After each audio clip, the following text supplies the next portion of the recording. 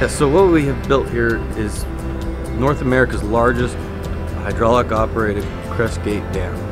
There's many challenges to this project. First one would be the cement bentonite wall. The cement bentonite wall went across the entire length of the dam and it cut the water off and make an impervious layer. That was a vertical cut 72 feet deep and cement was provided by Cemex. Second would be the scour wall.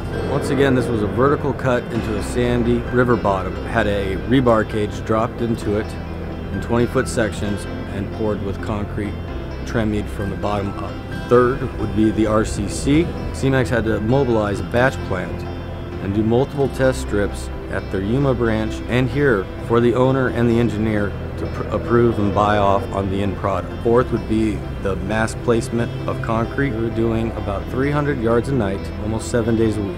That is a lot of concrete, a lot of coordination, multiple pours, multiple areas at once. And five would be the piers. PCL is proud to partner with Cemex to complete this project that benefits the city of Tempe and the state of Arizona.